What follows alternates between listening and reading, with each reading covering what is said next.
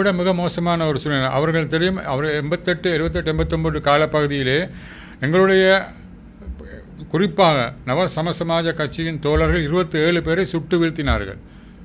காரணம் தமிழ் தமிழ் மக்களுடைய விடுதலைக்காக கலாநிதி விக்ரமபாபு கருணாரத்ன ஆயிரத்தி தொள்ளாயிரத்தி எண்பத்தி நான்காம் ஆண்டு முதல் அவர் இறக்கும் வரை நிலை ஒரே நிலையில் இருந்தார். தமிழ் மக்களுக்கு சுயநிர்ணய அறிமுகப்படுத்தின அவர் தான் சுயநிர்ணய உரிமையை தமிழ் மக்களுக்கு வழங்கப்பட வேண்டும் என்று கட்சியின் தீர்மானத்தை கொண்டு வந்து அதை உலகளாவிய ரீதியிலும் ச உள்ளக ரீதியிலும் பரப்பி தமிழ் மக்களுக்கு ஒரு விடுதலைக்கான ஒரே வழி சுயநிர்ணய உரிமை. பதிமூன்றா திருத்தம் சத்தம் கூட அவர்களுக்கு அது போதுமாக இல்லை என்று தன்னுடைய போராட்டத்தை எடுத்து தன்னுடைய அவருடைய பதவிகள் பறிக்கப்பட்டன அவர் சிறையில் அடைக்கப்பட்டார். அப்படி இருந்தும் கூட நாங்கள் விடாமல் நாங்கள் இந்த இதை கொண்டு செல்கின்றோம். அதை அது அதுவே தமிழ் மக்களுடைய போராட்டத்துக்கான ஒரு முயற்சி. அது அதை தவிர்த்து வேறு ஒரு தமிழ் மக்கள் மீது ஒரு பலம் அற்ற ஒரு அரசியல் தீர்வை திணிப்பது என்பது ஏற்றுக்கொள்ள முடியாத ஒன்று. உண்மையிலே ஜேவிபியினர் எண்பத்தேழு எண்பத்தெட்டு காலப்பகுதியிலே நவசம சமாஜ கட்சியின் இருபத்தேழு தோழர்களை சுட்டு வீழ்த்தினார்கள். அதுக்கு பிரதான காரணம் நவ சமசமாஜ கட்சி தமிழ் மக்களுடைய அரசியல் தீர்வுக்காக சுயநிர்ணய உரிமையை அங்கீகரித்து சுயாட்சியின் அடிப்படையிலாவது அவர்களுக்கு தீர்மானத்தை கொடுக்கப்பட வேண்டும். அதே நேரத்தில் அப்போது கொண்டு வரப்பட்ட மாகாண சபையை அவர்களுக்கு அது அதிகாரம் குறைந்த ஒரு மாகாண சபை என்றாலும் அதை நாங்கள் நிர்வகிக்க அவர்களுக்கு இடமளிக்க வேண்டும் என்ற ஒரு தொழில்நுட்பத்தில் நாங்கள் அந்த மாகாண சபையை பாதுகாக்க வேண்டும் அதை ஆதரிக்க வேண்டும் என்ற நிலைப்பாட்டில் இருக்கும் பொழுது எம்மை சுட்டு அந்த அந்த நேரம் ஜேவிபியினர் இந்த மாகாண சபைக்கு எதிராக குரல் கொடுத்தவர்களை சுட்டு வீழ்த்தி வந்தார்கள். அதிலே ஐக்கிய ஜனநாயகத்தை மதிக்கின்ற ஐக்கிய தேசிய கட்சி சார்பாக சார்ந்தவர்கள் ஆயிரம் பேர் கொல்லப்பட்டிருக்கின்றார்கள். எமது கட்சி அது பிரதானமாக பிரதானமாக அஹ், சுயநிர்ணய உரிமையை அங்கீகரிக்கின்றோம் என்ற அடிப்படையிலே எங்களது தோழர்களை சுட்டு வீழ்த்தி கொலை செய்தார்கள். கொலை செய்த மாத்திரமல்ல முழங்காலுக்கு மேலே அவர்களை தூக்கிச் செல்லக்கூடாது என்ற கட்டளையும் பிறப்பித்தார்கள். ஆனால் நாங்கள் அதை அதற்கு எதிராக நாங்கள் துணிந்து எங்களது தோள்களிலே எங்கள் தோழர்களை நாங்கள் தூக்கி சென்று நாங்கள் அவர்களுடைய எங்களுக்கு வீர அஹ், வணக்கத்தை செலுத்தினோம் அதுவே இந்த நவசமசமான கட்சியின் வரலாறு இதற்கு எதிராக இப்பொழுதும் அவர்கள் இனவாதத்தை பரப்பினால் அதுக்காக எதிராக மூங்கொடுக்க நவசமாஜ கட்சி ஒருபோதும் பின்வாங்காது தயாராக இருக்கின்றது මම රනත් කුමාරසිංහ ප්‍රධාන ලේකම් නව සමාජ පක්ෂය මං හිතන්නේ මේ මැතිවරණයට අදාළ අපි ගෙනියන උද්ඝෝෂණයේ අවශ්‍ය අ, මූලික කරුණු අ, අ, අපේ පක්ෂයේ අපේක්ෂක අ, ප්‍රියන්තු වික්‍රමසිංහ සෞතරය විසින් ඉදිරිපත් කලා කියලා. මම කෙටියෙන් අ, ඒකේ වෙනත් පැත්තක් පොඩ්ඩක් මේ සෞතුරුන් ඉදිරිපත් කරන්න කැමති මම දන්න ඒක ගොලන්ට කොයිතර නිවස් වැලිුව එකක් තියෙන කරුණක්ද කියලා නමුත් මට හිතෙනවා මේක මං කියන්න ඕනි කියලා. එක තමයි අපේ රටේ ප්‍රියන්තු වික්‍රමසිංහ සහෝදරයකවල අපේ රටේ තියෙන මූලික ප්‍රශ්නය සංවර්ධනයේදී වේවා ජාතිනට සම්බන්ධතාවයේදී වේවා වෙළඳපල සම්බන්ධයෙන් වේවා නිෂ්පාදනය සම්බන්ධයෙන් වෙලා මේ මොන ශේක්ෂයන් ගත්තත් තියෙන ප්‍රධානම ප්‍රශ්නය තම ප්‍රජාතන්ත්‍රවාදය පිළිබඳ ප්‍රශ්නය. මේක ඉතාම අධිකාරවාදී බලයන් විසින්. මේ හැම එකක්ම ග්‍රහණය කරගෙන ජනතාවට කිසිසේත්ම තමන්ගේ අ, තමන්ගේ තීරණ ගැනීමේ හා ක්‍රියා තීන්දු ක්‍රියාත්මක කිරීමේ අයිතිය. තීන්දු ගැනීමේ අයිතිය ගැන කතා කරනවා මිනිස් විශාල වශයෙන් කතා කරනවා අදහස් ප්‍රකාශ කිරීමේ අයිතිය ගැන. විශේෂයෙන් අපේ මාධ්‍ය ශේක්ෂත්‍රයේ අදහස් ප්‍රකාශ කිරීමේ අයිතිය ගැන විශාල උනන්දුවත්තිනවා. නොත් ප්‍රශ්න තියන අදහස් ප්‍රකාශ කලා කියලා ඒව ක්‍රියාත්මක වෙන්න ෑනේ. ඒව කොහෙවත් අවුරුවෙන් නෙත්න ඒව ක්‍රියාත්මක කරන්නත් බෑම අදහස් ප්‍රකාශ කරන අයට. ඒහිද මේ රටේ ප්‍රජාතන්ත්‍රවාදය තියෙන මූලිකෙන් ප්‍රශ්නය තමා. මේ අයට විවිධ අදහස් ප්‍රකාශ කරන්න අවස්ථාවක් ලැබෙනවා මාස එක හමාර්ග කාලයක් මේ මැතිවරණ වකවානුවලදී එම නැත්තන් ජනාධිපතිවරණ වකවානුවලති ල අදහස් ප්‍රකාශ කරනවා කෑගාන ඔක්කොම කරනවා. ඊට පස්සේ ඒගොල්ලො චන්ද දෙනවා මාසකින් හමාරගෙන් පස්සේ ඊට පස්ස මොකක්ද වෙන්නේ. මොකුත් නෑ අර අද ඉදිරිපත්කරු අදහස්වල ඇති වැඩේ මොකක්ද. කිසිම දෙයක් නෑ මොකේ කිසිම දෙයක් ක්‍රියාත්මක කිරීමේ කිසියම් වූ අවස්ථාවක්. ප්‍රජාතන්ත්‍රවාදී ව්‍යහාත්මක අවකාශයක් මේ ජනතාවට නෑ. එහින්ද ඒගොල්ලන්ට තියෙන මොකක්ද. ඒ ඡන්දෙ දීලා කෑ ගහලා ඡන්දෙ දීලා ඊට පස්සේ තියෙන්නේ මොකද්ද මාස 3කට පස්සේ ඔක්කොටම හෙනහත වැදියන් මුන් මැරියන් මුන්ට සාප වේවා ඉනිවල කෑ ගහ ඉන්න එක තමයි කරන්නේ අවුරුදු පහ සමාහිර හතරක් කීයක් හරි ඒක තමයි ඒගොල්ලන් ඉතුරු වෙන එකම අවස්ථාව වෙන කිසිම අවස්ථාවක් නැහැ මේ ජනතාවට තමන් ප්‍රකාශ කරපු අදහස් සම්බන්ධයෙන් ක්‍රියාත්මක වීම සඳහා. ඒතකොට මේකේ තියෙන ප්‍රශ්නේ තමයි දැන් කියන්නේ මේ රටේ ප්‍රජාතන්ත්‍රීය අවකාශයේ දවසෙන් දවස ගිලිහී යමින් තිබෙනවා. විශේෂයෙන් යුද්ධෙන් පස්සේ ජනතාවගේ ප්‍රජාතන්ත්‍රවාදී මැදිහත් වීම ඉදිරිකඩ අහෝස්‍ය වෙලා තියෙනවා. ජනතාව එහෙම දේශපාලන වශයෙන් විශාල බංකොලොත් භාවයකට වැටලා තියෙනවා. ඒතකොට ජනතාව කියලා මම කියන්නේ ප්‍රධාන වශයෙන් ගත්තාම මේ දකුණේ ආ උතුරේ දෙකේ ඉන්න වැඩ කරන ජන කම්කරු පන්තිය ගැන මම විශේෂයෙන් මම කැමති මතක් කරන්න ඒ අය තමයි සංවිධිත ජනතාව. එයාට විවිධ සංවිධාන තියෙන වෘත්තීය සමිති තියෙන වෙන වෙන ආයතන තියෙන ඒගොල්ලෝ සංවිධාන වෙලා ඉන්නේ. සුබ සාධන ආයතන තියෙන. ඒකට ඒව හරහා ඒගොල්ලෝ යම් යම් අදහස් සාකච්ඡා කරලා යම් යම් තීන්දුවත් ගන්නවා. එවැනි නමුත් ඒව ක්‍රියාත්මක වෙනවද නැද්ද කියන එක අනුත් එවැනි බලයක් ඒගොල්ලන්ට තියෙනවා. නමුත් අද වෙනකොට මොකක්ද වෙලා තියෙන්නේ? ඒ තිබිච්ච බලය අහෝස් වෙලා තියෙනවා. මොකද ඒගොල්ලෝ යුද්ධයට ගියා. ඒගොල්ලෝ හිතුවා යුද්ධෙන් තමයි සියල්ල විසඳෙන්නේ කියලා. ඊට පස්සේ ඒගොල්ලගේ බලය එහෙම් පිටින් අහෝස් වෙලා ගිහිල්ලා අද අද අද දලපති පන්තියේ මේ යුදවාදීන්ගේ ප්‍රජාතන්ත්‍රයේ විරෝධී අර්ධ ෆැසිස්ට් වාදී මාර්ගයේ නායකයන්ගේ පතුලේ ඉන්න අය තත්ත්වෙනම් පත් වෙලා තියෙන විවෘත සමිති නායක. බහුතරයක් ඒ වුණ වෙන ඉන්න පුළුවන්. අපේ ප්‍රියන් සහෝදරයා වගේ.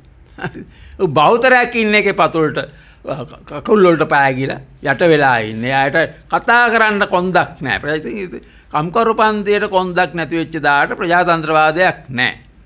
දෙවෙනි බලවේගය තමයි දෙමළ ජනතාව මේ රටේ. සුළු ජාතීන් කියලා අපේ රටේ විවිධ ඉන්නවා. දෙමළයි ඉන්නවා, මුස්ලිම් ඉන්නවා, තව තව ඔය ගැන කතා කරන අය තව තව නම් ගොඩක් කියන බර්ගර් ගියා රෝගේ. නමුත් මම කියන්නේ සංවිධානාත්මකව තමන්ගේ උරුමයන් වෙනුවෙන් සටන් කරේ දෙමළ ජනතාව. ඒක නිසා අපිට ඒක අමතක කරලා මේ සුළු ජාතීන් ගැන කතා කරන්න බෑ. ඒක සුවිශේෂ තත්ත්වයක්. වෙන කවුරුත් එහෙම සටන් කළා නෑ. හරිද? ඒක නිසා අපි ඒක අමතක නොකරේ සුවිශේෂ ජනතාවක් අර්ගලයක් ගෙනයපු ප්‍රජාතන්ත්‍රවාදය වෙනුවෙන් අර්ගලයක් ප්‍රජාතන්ත්‍රවාද තමන්ගේ අයිතිවාසිකන් තමන්ගේ උරුමයන් වෙනුවෙන් සටන් කරපු ජාතියක් හැටියට අපි අයගේ සුවිශේෂත්වය පිළි අරගනමින් ඕනේ අපි දෙවිනි ප්‍රජාතන්ත්‍රීය බලවේගය සම්බන්ධයෙන් මේ රටේ ඉන්න කතා කරන්නේ. ඒතර මේ දෙක අතර සම්බන්ධයක් තිබුණා. මේ දෙක එකට සටන් කළා. උතුරෙන් හමුදා ඉවත් කළාව කියලා දහස් ගණන් කම්කොරුව එකතු වෙච්ච සමුළුවලද තීරණ අරන් තින වහාම හමුදාපව කැඳවන උතුරෙන් විශේෂයෙන් 1986 සම්මේලනයේ 86 86 සම්ලු වෙන්නේ මේ මේ මේ තීරණය ආවේ. ඒතර ඒක උඩ ජේපී වගේ සංවිධාන වෘත්ති සමිති නැගිටලා යන්න එක වෙන කතාවක්. ඒක මූලික ඉල්ලීමක් හැටියට ඒතර ඒක එක්කම මේ කම්කරු නායක උතුරේ පිළිගත්තා. ඒගොල්ලෝ ආවම මේ විශාල වශයෙන් ජනතාව රැස්ලා පිළි අරගෙන සහෝදරත්වයේ පළ දෙපැත්තෙන්ම සහෝදරත්වයේ එකතු වෙන තත්ත්වයක් වර්ධනය වෙමින් තිබුණා. ඒතර මේ විදිහට මේ බලවේග දෙක එකට ඉස්සරහට යන්න ලැබුණා නම් මේ රටේ තුන් ගාක් වෙනස් වෙනවා. මේ රටේ මේ තියෙන මේ මුසල තත්ත්වයට පත් වෙන්නේ නැහැ. නමුත් ඒක කෙරුණේ නැහැ. ඒක නොකරෙන්න විශාල බලවේග ක්‍රියාත්මක වුණා. බලවේග ක්‍රියාත්මක වෙලා මේ එක්සත් භාවය ඉදිරියට ගෙන යාම කඩාකප්පල් කරා. කඩාකප්පල් කරේ නිකන්ද නෑ. මේ එක්සත් භාවයේ ප්‍රජාතන්ත්‍රවාදයේ බලය ඉස්සරහට පෙන්නපු නායකයන්ව ශාරීරිකව ඝාතනය කළා. නිකන් නෙමේ කඩාකප්පල් කරේ. බක පණ්ඩිත කතාවලින් නෙමේ කඩාකප්පල් උනේ. මැරුවා ශාරීරිකව. මරලා ඒ ව්‍යාපාරයන්ගේ ඉදිරියට යන්න තියෙන ශක්තිය කඩාකප්පල් කරලා තමයි වනෑවත්තේ. ඒ රිසල්ට එක තම අපි මේ මුණ දෙන්නේ. අද ඉතාමත්ම අවාසනාවන්ත තත්ත්වයකට මේ රටේ මේ ප්‍රජාතන්ත්‍ර බලවේග දෙකම පත් වෙලා තියෙන එකක්. කම්කරු පන්තියේ ලීඩර්ෂිප් එකක් නැහැ, නායකත්වයක් නැහැ, එක්සත් අදහසක් නැහැ. දෙමළ ජනතාව ගත්තත් ලීශිප්පයක් නෑ නායකත්වයක් නෑ එක එක්සත් අදහසක් නෑ අඩුගානකොට මතක් වෙන්නවත් නෑ මේ වඩුක් කොඩේ සම්මේලන ඇතිබිල මෙහෙම එක්සත් අදහසක් කරා අපි මේ අපේ අපේ ඊලාම් රාජ්‍ය අයිති අපි ඉල්ලා සිටිය බවත් මතක් වෙන්නේ නෑ. ඒක ඇත්ත தත්ත්වය. ඉතින් මම ප්‍රජාතන්ත්‍රවාදයක් තියෙන. ඒතර අගතිකාය බලවේග වලට මුළු මනින්ම අවස්ථාව සැලසීලා තිනවා. ඒතර කෝලම් කර කර ඇවිදින්න. මෙතන ජෝක් කරන අපේ ඉස්සරහ අපිට. අපේ පෝස්ටර් වල අපේ ගමේ මෙතන මේ මේ මිනිමරෝ ටික ඇවිල්ලා ඒතර පෝස්ටර් අලවල යනවා මේ තාප්පවල. යුද්ධ ගෙනාපු එකෝ. නිකම් අමුදා බට ගන්නේ මම මේ කියන හමුදාවට රස්සාවන්න කරන්නේ. හරි. දේශපාලකයෝ හැටියට මේවා. එක්සත් භාවය වෙන එකබාධතාව එකගත්වයක් වෙනුවෙන් කරපු සියලු දේශපාලන වෑයම කඩාකප්පල් කරලා චන්ද්‍රිකාක එකතු වෙලා යුද්ධය ගෙනාපු එවුම් මෙතන ඇයිල පෝස්ටරාලවට යාපනය මැද්ද. මොකක්ද මුන්ට තින හයිය? එම අලවන් හයිය මොකක්ද. දෙමළ ජනතාව මුක්ති අරගලේ අද තියන්නාව දුබල තත්වේ සමාවෙන්න මේක ගොල්ලු පිළිගන්න පුළුවන්. නොත් එහෙම දුබල නැත්ත ඔවුන්ට මේ පැත්ත එන්න පුළුවන්ද? මිනිමරුවන්ට.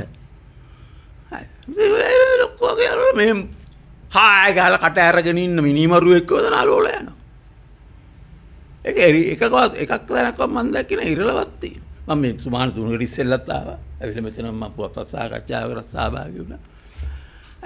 එතකොට එකයි තියෙන්නේ. එතකොට මේ මේට අපි මුහුණ දෙට ලෑස්ති වෙලා අපි නැවත අපි කොහොමද අපේ අනන්‍යතාවය අපි නැවත එකතු කරන්නේ කොහොමද කියන ප්‍රශ්නය මේ රටේ කම්කරු පන්තියක් දෙමළ ජනතාවත් සැලකිල්ලට ගත යුතුයි.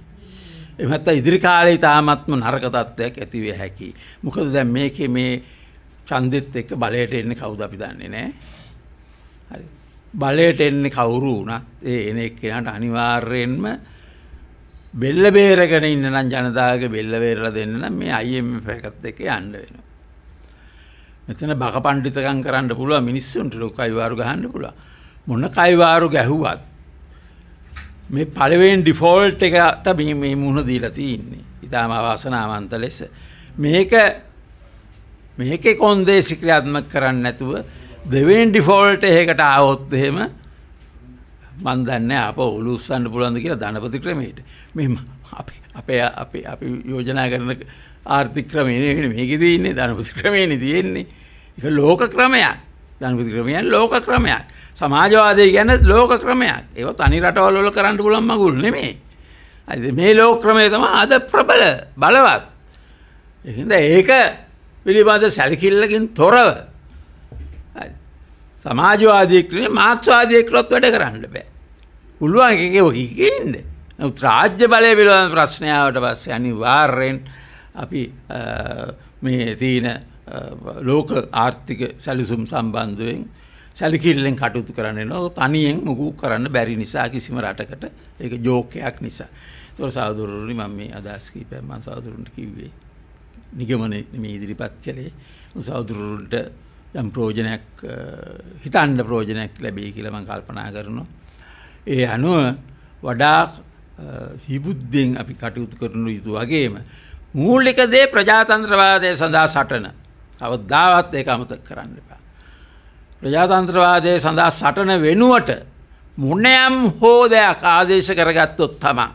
විනාශය පමණ ඉතුරු වෙන්නේ. වෙන්න කිසි දෙයක් ඉතුරු වෙන්න. ප්‍රජාතන්ත්‍රවාදය නිදහස යුක්තිය මේ අයිතිවාසිකම් වෙනුවෙන් කරන අරගලේ අපි දිරියට ගෙන ගන්න. එක වඩා තේරුම් ගන්න.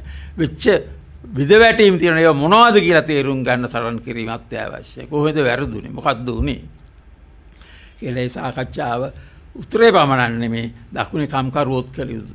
සාකච්ඡාවක් ඊට පස්සේ සාකච්ඡා දෙක ආරම්භ වෙනවා නම් දෙගොල්ලන්ට පුළුවන් එකතු වෙලා මේ සාකච්ඡාව ඉදිරියට ගෙනියන්න. ඉතින් පුළුවන් මාවතක් පාදලා දෙන්න මේ රටේ ජනතාවට බෙල්ල බේරගෙන ඉස්සරහට යන්නේ කොහොමද කියන සම්බන්ධයෙන්. வணக்கம் வணக்கம் நான் சுந்தரம் மகேந்திரன் காணாமல் போன தெரியறியும் குழுவின் செயலாளர். அதே நேரத்தில் நவசம் சமாஜ கட்சியின் அரசியல் குழு உறுப்பினராகவும் நாங்கள் செயல்படுகின்றோம். இம்முறை ஜனாதிபதி தேர்தலிலே நவசம சமாஜ கட்சியின் சார்பிலே பிரியாந்த விக்ரமசிங்க தோழர் அவர்களை நாங்கள் வேட்பாளராக நிறுத்தியிருக்கின்றோம். அவர் ஒரு தொழிற்சங்க தலைவரும் தமிழ் மக்களுடைய விடுதலைக்கான போராட்டத்திலே பங்கு பெற்று அவர்களுக்கு உ- உரிய விடுதலை பெற வேண்டும் என்ற நோக்கிலே போராட்டங்களை முன்னெடுத்த ஒரு தொடரும் ஆவார்.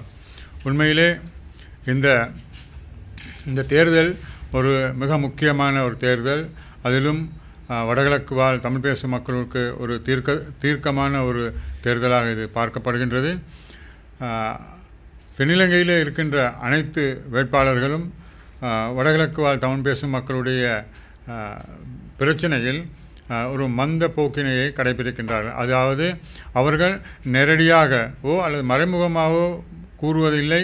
இவர்களுக்கான சுயநிர்ணய உரிமையோ அல்லது சுயாட்சியோ வழங்கப்படும் எமது ஆட்சியின் கீழ் நாங்கள் அதை பெற்றுக் கொடுப்போம் என்று கூறுவதற்கு தயங்குகின்றார்கள். நாம் நவசம சமாஜ கட்சி என்ற சார்பிலே கட்சி ஆரம்பித்த காலம் தொட்டு இன்று வரை தமிழ் மக்களுக்கு சுயநிர்ணய உரிமை அடிப்படையிலே சுயாட்சி அல்லது தமிழ் மக்கள் விரும்புகின்ற ஒரு ஆட்சி முறைமையை ஆதரித்து அதனை வெற்றிபெற செய்வதற்கான போராட்டங்கள் பல கலாநிதி விக்ரம்பாபு கருணாரத்னவின் தலைமையிலே மேற்கொள்ளப்பட்டது. அதை தொடர்ந்து நாங்கள் இன்றும் அதை நாங்கள் பின்பற்றியே செல்கின்றோம். ஆகவே தமிழ் மக்களுடைய உரிமை என்பது வெறுமனே தமிழ் மக்களுக்கு வாழ்வாதார இடவசதி கொடுப்பது மாத்திரமல்ல. அவர்களுடைய பூர்வீக நிலங்கள் அவர்கள் சுதந்திரமாக தங்களுடைய பூர்வீக நிலங்களே வாழ்வதற்கு இடமளிக்கப்பட வேண்டும். அவர்களுடைய மரபு சார்ந்த விடயங்களிலே அவர்களுக்கு முழுமையான அங்கீகாரத்தினை வழங்கப்பட வேண்டும் என்பது எமதுடைய நிலைப்பாடாக இருக்கின்றது. உண்மையிலே நாங்கள் கடந்த காலத்திலே நாங்கள் பார்த்தோம் கடந்த இரண்டு மூன்று வாரங்களுக்கு முன்பு அனுரகுமார் திசாநாயக் அவர்கள் யாழ்ப்பாணத்திலே வந்து உரையாற்றும் பொழுது தமிழ் மக்களை நேரடியாக அச்சுறுத்தும் விதத்திலே அவருடைய சொற்பதங்கள் இருந்தது. அதாவது அவருடைய பேசின்போது அவர் உண்மையிலே தமிழ் மக்கள் தங்களுக்கு அடிமையாக இருக்க இருக்க வேண்டும் தங்களுடைய கட்டுப்பாட்டுக்குள் இருக்க வேண்டும் என்ற துணிப்பொருளிலே அவர் உரையாற்றினார். அவர் கூறிய விடயம் மிக ஒரு தமிழ் மக்களுடைய மனங்களை மாத்திரமல்ல இடதுசாரி எம்மை போன்ற இடதுசாரிகள் தமிழ் மக்களுடைய ஜனநாயக போக்கை விரும்புகின்றவர் அனைவருக்கும் அது ஒரு பேரதிர்ச்சியாக இருக்கின்றது. எனவே அப்படிப்பட்டவர்களை நாங்கள் தேர்ந்தெடுக்காமல் ஏனைய போ- இந்த- இந்த தேர்தலில் இருக்கின்ற சஜித் பிரேமதாசாக இருக்கலாம் ரணில் விக்ரமசிங்கமாக இருக்கலாம் அனைவருமே இந்த தமிழ் மக்களுக்கு பதிமூன்றாவது சட்டமூலத்தை ஒருவர் முழுமையாக அமுல்படுத்துவதாக கூறுகின்றார். ஒருவர் அதில் குறிப்பிட்ட அளவு அதிகாரத்தை வழங்கப்பட வேண்டும் என்று ஒருவர் கூறுகின்றார். ஆனாலும் அது தங்கள் தலைவர்களுடன் அல்லது தமிழ் தலைமைத்துவத்துடன் பேச்சுவார்த்தை நடத்தி உறுதியாக ஒரு நிலைப்பாட்டுக்கு வந்து நாங்கள் வென்றால் இந்த சரத்தை நாங்கள் அல்லது இந்த முறைமையிலே உங்களுக்கு தமிழ் மக்களுடைய பிரச்சனையை முடிப்போம் என்று உறுதியாக எவருமே கூறுவதில்லை. சாட்டுப்போக்காக கூறுகிறார்களே தவிர ஒரு ஏமாற்று வித்தையாகவே கை கண்டு கடந்த காலங்களிலே கூறி வந்திருக்கின்றார்கள். அதன் அடிப்படையிலே தான் இன்று தமிழ் மக்களும் இறுதியாக ஒரு பொது வேட்பாளரை முன்னிறுத்திருக்கின்றார்கள் நாங்கள் அதை வரவேற்கின்றோம். இருந்தாலும் கூட அந்த வரவேற்பு தமிழ் மக்களுடைய ஒட்டுமொத்த தமிழ் தலைமைத்துவமும் ஒன்றிணைந்து ஒரு பொது வேட்பாளரை நிறுத்தியிருந்தால் அது மிகவும் வெற்றி பெறக்கூடிய ஒரு தன்மையை உறுதிப்படுத்தியிருக்க வேண்டும். நாங்கள் எங்களுடைய நிலைப்பாடு வட்டுக்கோட்டை தீர்மானம் எவ்வாறு எட்டப்பட்டதோ அதே போன்று ஒரு கூட்டத்தை அல்லது ஒரு மகாநாட்டை அழைத்து அந்த மகாநாட்டின் மூலம் பேச்சுவார்த்தை நடத்தி ஒரு தலைமைத்துவத்தை ஒரு தலைவரை நிறுத்தி இந்த தேர்தலிலே முன் அஹ், அது ஒரு தென்னிலங்கை தலைவர்களுக்கு ஒரு பெரிய ஒரு சவாலாக இருந்திருக்கும் என நாங்கள் நினைக்கின்றோம். எனவே இவ்வாறான எதிர்காலங்களிலும் இவ்வாறான விடயங்களிலே ஒட்டுமொத்த தமிழ் சமூகமும் ஒட்டுமொத்த தலைமைத்துவமும் ஒன்றிணைந்து செயல்பட வேண்டும் என நாங்கள் கேட்டுக்கொள்கின்றோம். அடுத்ததாக எந்த ஒரு தலைவரும் தென்னிலங்கை தலைவர்களும் இந்த காணாமல் போனோர் தொடர்பாக எந்தவிதமான உண்மைத்தன்மையையும் வெளிப்படுத்துவதற்கு அவர்கள் விரும்புவதும் இல்லை அப்படி வெளிப்படுத்தினால் தென்னிலங்கை தென்- தென்னிலங்கையில் இருக்கின்ற இராணுவத்தை சேர்ந்தவர்களோ அல்லது போலீஸை சேர்ந்தவர்களோ உயர் அதிகாரிகள் தண்டிக்கப்படக்கூடும். அவர்களை தண்டிப்பதற்கு ஒருபோதும் தென்னிலங்கை அரசியல் நிலவரம் அவர்களுக்கு ஒத்துழைக்க ஒத்துழைக்க மாட்டாது என்பதை உணர்ந்து கொண்டு அவர்கள் இந்த காணாமல் போனோர் தொடர்பாக விடயங்களை பல ஜனாதிபதி ஆணைக்குழுக்கள் நியமித்தாலும் அதில் அந்த ஜனாதிபதி ஆணைக்குழுக்களிலே மிக ஸ்திரமாக வெளிப்படையாக அவர்கள் பல க முன்மொழிவுகளை முன்மொழிந்திருக்கின்றார்கள். அது அவைகளையாவது இந்த மக்கள் மயப்படுத்தப்பட வேண்டும். இன்று வரை எந்த விதமான முன்மொழிவுகளோ இன்று வரை வெளிப்படுத்தாமல் அது வெளிப்படை தன்மை இல்லாமல் மறைத்து வைக்கப்பட்டிருக்கின்றது. ஆகவே நாங்கள் கூறுவது என்னவென்றால் காணாமல் போடுவோர் தொடர்பாக உண்மை நிலைமையை உண்மை நிலையை அந்த மக்கள் இன்றும் போராட்டத்தில் அந்த தாய்மார்கள் போராட்டத்து களத்திலே இருக்கின்றார்கள். கடந்த பத்து வருடங்களுக்கு மேலாக இந்த யுத்தம் முடிந்து இன்னும் அவர்களுக்கான நியாயத்தை பெற்றுக் கொடுக்க முடியவில்லை. ஆகவே நாங்கள் எங்களது போராட்டத்திலே நாங்கள் தொடர்ச்சியாக கூறி வந்த விடயம் தமிழ் மக்களுடைய இந்த காணாமல் போனோர் தொடர்பான உண்மைத்தன்மையை உ உடனடியாக வெளிக்கொணர வேண்டும் என்ற கொண்டு வர வேண்டும் என நாங்கள் கூறுகின்றோம். அதே போன்று தமிழ் மக்களுடைய நில உரிமை இன்றும் ஒரு சிலருக்கு ஒரு ஓரளவு நில உரிமை அவர்கள் வழங்கப்பட்டிருந்தாலும் கூட முழுமையான ரீதியிலே அவர்களுடைய நிலங்கள் கையளிக்கப்படவில்லை அதே நேரத்தில் இந்த மரபு உரிமை சார்ந்த விடயங்களிலே மிகவும் அக்கறையின்மையுடன் இந்த தென்னிலங்கை அரசாங்கம் ந- நடந்து கொண்டிருக்கின்றது. எனவே இவற்றை கருத்தில் கொண்டு நாங்கள் கடந்த சகாப்த காலமாக நவசம சமாஜ கட்சியின் சார்பிலே நாங்கள் போராட்டங்களையும் நடத்தி வருகின்றோம். இன்றும் நாங்கள் அந்த நிலைப்பாட்டில் இருக்கணும். எதிர்காலத்திலும் தமிழ் மக்களுடைய விடுதலைக்காக போராடுவோம் என கூறிக்கொள்வதோடு நாங்கள் நவசமசமாஜ கட்சியின் சார்பிலே பிரியாந்த விக்ரமசிங்க தோழரை நாங்கள் நினைத்து இருக்கின்றோம். எமது கொள்கை பிரகடனத்தில் தமிழ் மொழியிலும் இதிலே நாங்கள் உள்ளடக்கி இருக்கின்றோம். ஆகவே மேச சின்னத்திற்கு ஒரு புள்ளடையிட்டு எம்மையும் நீங்கள் கௌரவப்படுத்த வேண்டும் என நாங்கள் கேட்டுக்கொள்கின்றோம். நன்றி. பொது வேட்பாளர் தொடர்பாக நாங்கள் அதனை வரவேற்கின்றோம். நவசமசமாஜ என்ற விதத்தில் நாங்கள் அதை வரவேற்கின்றோம். உண்மையிலே இந்த தமிழ் பொது வேட்பாளர் தோழர் ரணகுமாரசிங்க குறிப்பிட்டது போன்று வட்டுக்கோட்டை தீர்மானத்தின் அடிப்படையில் அதாவது வட்டுக்கோட்டை தீர்மானம் எவ்வாறு எட்டப்பட்டதோ தமிழ் மக்களுடைய விடுதலைக்காக இதில் குரல் கொடுக்க வேண்டும் இளைஞர்கள் முன் முன்னெழுந்து வாருங்கள் என்று கூ அழைப்பு விடுக்கப்பட்டதோ அதே போன்று தமிழ் தலைமைத்துவம் அனைத்தும் ஒன்றிணைந்து ஒரு குடையின் கீழ் வந்து இந்த ஒரு ஒரு ஒரு மகநாடை அழைத்து அந்த மகாநாட்டிலே உங்களுடைய கருத்துக்களை பரிமாறி அந்த கருத்தின் ஊடாக தங்களுக்கு விட்டு கொடுக்க வேண்டியதை விட்டு கொடுத்து விட்டு கொடுக்காததை நிறுத்தி கொண்டு பொதுவான ஒரு நிலைப்பாட்டிலே வந்து ஒரு தமிழ் வேட்பாளரை முன்னிறுத்தியிருந்தால் தென்னிலங்கை அரசியல் செய்கின்ற அனைத்து அரசியல் தலைமைத்துவத்திற்கும் ஒரு பேர் இடியாகவும் பாரிய ஒரு அழுத்தத்தை சர்வதேசத்துக்கும் வழங்கும் என்பது எமது உறுதியான நிலைப்பாடு. அது வடபகுதி வடக்கு கிழக்கு தமிழ் பேசும் மக்களுடைய தலைமைத்துவத்தினுடைய தலை ஒரு சில தலைவர்களுடைய அவர்களோட அவர்கள் அரசியல் நிலைப்பாடு இதற்கு காரணம். ஒவ்வொருவருடைய அரசியல் நிலைப்பாடும் வெவ்வேறு விதமான பாதையிலே போகின்றது. அனைவரும் சொல்லுகிறார்கள் தமிழ் மக்களுடைய விடுதலைக்காகவும் தமிழ் மக்களுக்கு ஆன நாம் பொறுப்பு எடுத்து செல்வோம் என்று கூறுகிறார்கள். ஆனால் அவருடைய செல்லும் பாதை வெவ்வேறாக இருக்கின்றது. ஆகவே தான் இந்த குழப்ப நிலை அதை தான் நாங்கள் சுட்டி காட்டுகின்றோம் வட்டுக்கோட்டை பிரகடனத்தை போன்று அவர்கள் அனைவரும் ஒன்று சேருங்கள். ஒன்றிணைந்து இந்த தீர்மானத்தை எட்டியிருந்தார்கள் இது பெரிய ஒரு அழுத்தத்தை வழங்கியிருக்கும் சர்வதேசத்துக்கு என்று நாங்கள் தொடர்ந்து கூறி வருகின்றோம்.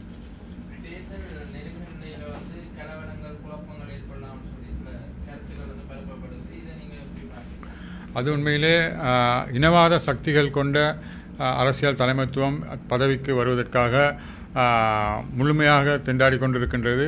அதன் அடிப்படையிலே தான் நான் நினைக்கின்றேன் இங்கு வந்தும் கூட அந்த தலைமைத்துவம் தமிழ் மக்களை அச்சுறுத்தும் விதத்திலே தங்களுடைய அரசியல் பிரச்சாரத்தை மேற்கொண்டார்கள் கடந்த வாரங்களிலே. அப் அவ்வாறான அச்சுறுத்தல் செய்பவர்கள் தங்களுடைய தோல்விக்கு காரணமாக இருக்கின்ற ச- சமூகத்துக்கு எதிராக எதுவும் செய்யலாம் செய்வோம் என்பத ஒரு அச்சுறுத்தல் ஒரு அச்சத்தை தென்னிலங்கையிலே அப்படி ஒரு அச்சத்தை ஏற்படுத்தி கொண்டிருக்கின்றார்கள்.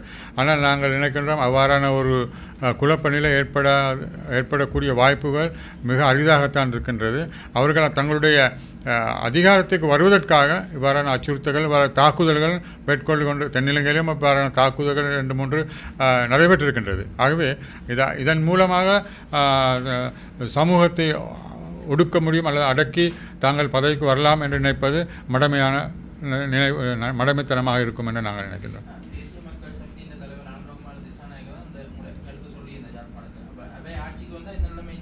இதை விட மிக மோசமான ஒரு சூழ்நிலை. அவர்கள் தெரியும் அவர் எண்பத்தெட்டு எழுபத்தெட்டு எண்பத்தொம்பது காலப்பகுதியிலே எங்களுடைய குறிப்பாக நவ சமசமாஜ கட்சியின் தோழர்கள் இருபத்தி ஏழு பேரை சுட்டு வீழ்த்தினார்கள். காரணம் தமிழ் தமிழ் மக்களுடைய விடுதலைக்காக கலாநிதி விக்ரம்பாபு கருணாரத்ன ஆயிரத்தி தொள்ளாயிரத்தி எண்பத்தி நான்காம் ஆண்டு முதல் அவர் இறக்கும் வரை நிலை ஒரே நிலையில் இருந்தார். தமிழ் மக்களுக்கு சுயநிர்ணய அறிமுகப்படுத்தின அவர் தான் சுயநிர்ணய உரிமையை தமிழ் மக்களுக்கு வழங்கப்பட வேண்டும் என்று கட்சியின் தீர்மானத்தை கொண்டு வந்து அதை உலகளாவிய ரீதியிலும் ச உள்ளக ரீதியிலும் பரப்பி தமிழ் மக்களுக்கு ஒரு விடுதலைக்கான ஒரே வழி சுயநிர்ணய உரிமை. பதிமூன்றா திருத்தம் சத்தம் கூட அவர்களுக்கு அது போதுமாக இல்லை என்று தன்னுடைய போராட்டத்தை எடுத்து தன்னுடைய அவருடைய பதவிகள் பறிக்கப்பட்டன அவர் சிறையில் அடைக்கப்பட்டார். அப்படி இருந்தும் கூட நாங்கள் விடாமல் நாங்கள் இந்த இதை கொண்டு செல்கின்றோம். அதை அது அதுவே தமிழ் மக்களுடைய போராட்டத்துக்கான ஒரு முயற்சி. அது அதை தவிர்த்து வேறு ஒரு தமிழ் மக்கள் மீது ஒரு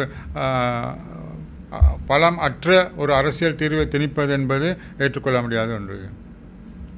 உண்மையிலே ஜேவிபியினர் எண்பத்தேழு எண்பத்தெட்டு காலப்பகுதியிலே நவசம சமாஜ கட்சியின் இருபத்தேழு தோழர்களை சுட்டு வீழ்த்தினார்கள். அதுக்கு பிரதான காரணம் அவ் த நவ சமசமாஜ கட்சி தமிழ் மக்களுடைய அரசியல் தீர்வுக்காக சுயநிர்ணய உரிமையை அங்கீகரித்து சுயாட்சியின் அடிப்படையால் அது அவர்களுக்கு தீர்மானத்தை கொடுக்கப்பட வேண்டும்.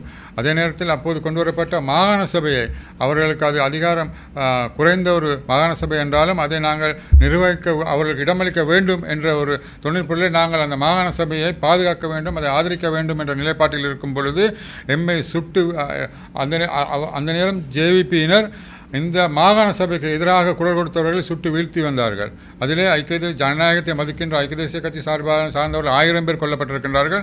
எமது கட்சி அது பிரதானமாக பிரதானமாக அஹ், சுயநிர்ணய உரிமையை அங்கீகரிக்கின்றோம் என்ற அடிப்படையிலே எங்களது தோழர்களை சுட்டு வீழ்த்தி கொலை செய்தார்கள். கொலை செய்த மாத்திரமல்ல முழங்காலுக்கு மேலே அவர்களை தூக்கிச் செல்லக்கூடாது என்ற கட்டளையும் பிறப்பித்தார்கள். ஆனால் நாங்கள் அதை அதற்கு எதிராக நாங்கள் துணிந்து எங்களது தோள்களிலே எங்கள் தோழர்களை நாங்கள் தூக்கி சென்று நாங்கள் அவர்களுடைய எங்களுக்கு வீர வணக்கத்தை செலுத்தினோம். அதுவே இந்த நவசமசமான கட்சியின் வரலாறு. இதற்கு எதிராக இப்பொழுதும் அவர்கள் இனவாதத்தை பரப்பினால் அதுக்காக எதிராக மூங்கொடுக்க நவசமாஜ கட்சி ஒருபோதும் பின்வாங்காது தயாராக இருக்கின்றது.